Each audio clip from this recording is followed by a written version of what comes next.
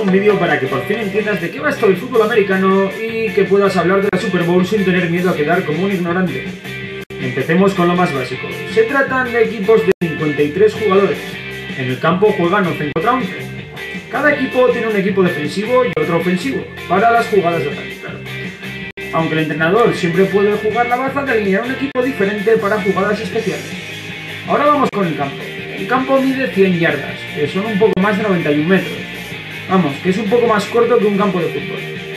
El objetivo básico del juego es llevar el balón a la zona de anotación contraria, también llamada endzone. Si lo haces, enhorabuena.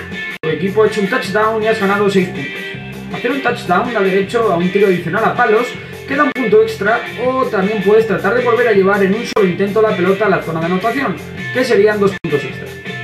Otra forma de anotar es lanzando a palos en medio de un down, si lo consigues, ganas 3 puntos. Ahora vamos con la estructura del juego. Cada equipo tiene 4 intentos para avanzar al menos 10 yardas. Cada intento se llama down y termina cuando el jugador que tiene la pelota es placado o sale del campo. Se puede avanzar yardas con el balón cogido en las manos o mediante un pase. Si el pase no es bien recibido y cae al suelo o se va fuera del campo, es un pase incompleto y no se avanza ninguna yarda. La posesión del balón cambia cuando un equipo agota sus cuatro intentos y no ha conseguido avanzar las 10 yardas, o cuando un pase es interceptado, o cuando al jugador que lleva el balón se le escapa y el otro equipo lo recoge. Pero para acabar de entender bien este deporte vamos con unas reglas muy básicas. En el campo hay 7 árbitros, todos llevan pañuelos amarillos que se tiran al campo cuando hay una falta. El árbitro principal lleva un micro con el que dice las decisiones que ha tomado. Cada entrenador lleva un pañuelo rojo con el que puede solicitar la revisión de una jugada en vídeo. Las faltas se sancionan sumando o quitando yardas dependiendo si la falta la ha hecho la defensa o el ataque. ¿Qué cosas son falta? Pues muy fácil y sencillo. 1. Agarrar a un oponente. Es una falta que se llama holding, es la más común, y en el fútbol americano puedes obstaculizar, empujar o bloquear, pero nunca agarrar. La penalización es de 10 yardas. La segunda son las faltas personales. Puede ser por placar al quarterback cuando este ya ha soltado el balón, cuando alguien agarra a otro de la máscara o cuando el árbitro considera que una falta ha sido demasiado violenta y se sanciona con 15 yardas. Otro tipo de falta es el false start, cuando un atacante se mueve antes de tiempo al inicio de una jugada. Son 5 yardas de penalización. Algo parecido, pero al revés es el offside, que es cuando un defensor se adelanta antes de tiempo, las 5 yardas.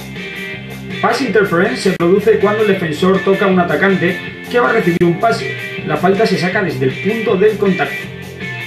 International Grounding se produce cuando el quarterback está en apuros y lanza el balón deliberadamente mal para que el pase sea considerado incompleto y no perder yardas. La sanción es de 10 yardas. El tripping básicamente es poner la zancadilla y también está prohibido, son 10 yardas.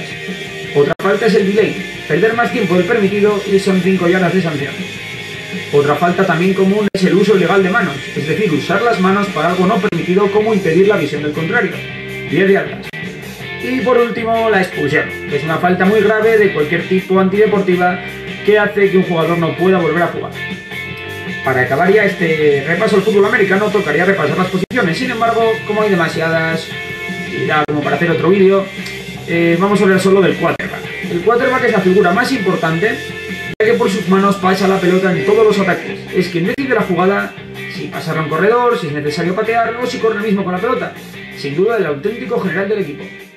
Y esto es todo lo que es necesario saber para que te quede un poquito más claro.